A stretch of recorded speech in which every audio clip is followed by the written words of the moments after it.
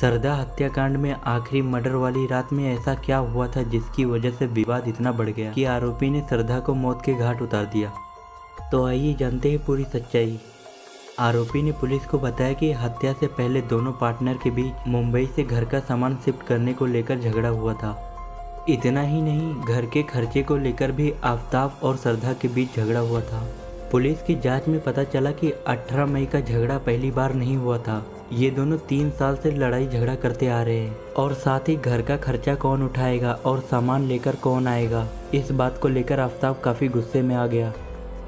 और फिर श्रद्धा की गला दबाकर हत्या कर दी थी और उसके शरीर को 35 टुकड़े में काटकर दिल्ली के अलग अलग इलाके में फेंक दिया था।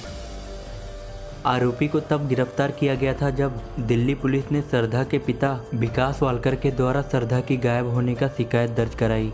जाँच शुरू की गई तो आरोपी ने जाँच के शुरुआती दिनों में ही पुलिस को धोखा देने की कोशिश की। पुलिस को बताया कि 22 मई को ही श्रद्धा घर छोड़कर चली गई थी। वो अपने साथ केवल फ़ोन लेकर गई थी। मगर पुलिस ने जब जाँच शुरू की तो फ़ोन और उसके अकाउंट डिटेल खंगालने पर आरोपी की झूठ पकड़ी गई और सब सच सामने आ गया, जिसके बाद से ही पुलिस को एक से एक बढ़कर चौंकाने वाली सच्चाई सामने आ रही है। फ़िलहाल दोस्तों, इस केस को लेकर अपना राय कमेंट में ज़रूर बताना और हमारे चैनल को सब्सक्राइब करना मत भूलना।